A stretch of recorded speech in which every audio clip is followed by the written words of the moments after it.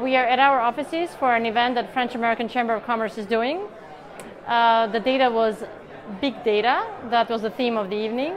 Uh, we're very happy to host um, all the members of the French American Chamber of Commerce, which is our, our client as well. We have been with uh, a member of the French American Chamber of Commerce for, I would say, 15 years, of which I have been a board member, advisory board member for probably more than seven years.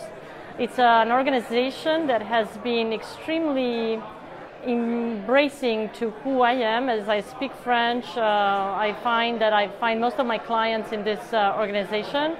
They're also a client. Uh, we have uh, moved the French American Chamber of Commerce three times, and we have made many personal friends as well as met many clients here. So to be able to actually give something back and to host an event, uh, it's really gratifying to me as a person and as a broker.